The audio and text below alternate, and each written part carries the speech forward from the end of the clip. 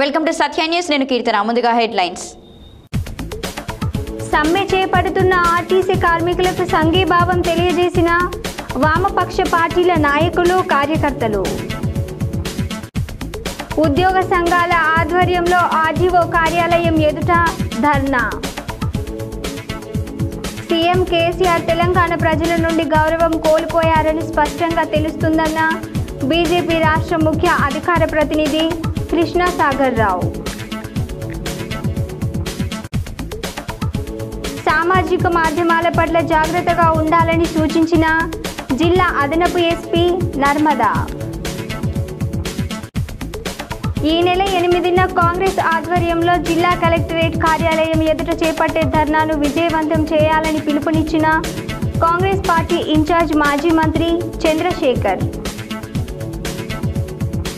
ఉద్యోగాలను తొలగిస్తే సీఎం కేసీఆర్ పతనం తప్పదని హెచ్చరించిన జిల్లా కాంగ్రెస్ పార్టీ అధ్యక్షుడు శంకర్ నాయక్. కార్యకర్తల కుటుంబాలకు అండగా ఉంటామన్న మంత్రి కేటీఆర్ మోడీ అనాలోచిత నిర్ణయాలకు వ్యతిరేకంగా ఆందోళన కార్యక్రమాలు నిర్వహించాలని పిలుపునిచ్చిన ఎంపీ కోమటిరెడ్డి వెంకటరెడ్డి.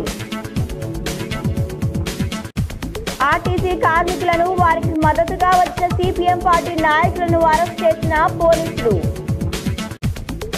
ఆర్టీసీ కార్మికులకు మద్దతు తెలిపేందుకు వచ్చిన అఖిలపక్ష పార్టీల నాయకులను అరెస్ట్ చేసిన పోలీసులు. ప్రభుత్వం ఎలాంటి వేషాజాలకు పోకుండా ఆర్టీసీ జేఏసీతో చర్చలు జరపాలని డిమాండ్ చేసిన అఖిలపక్ష పార్టీల నాయకులు.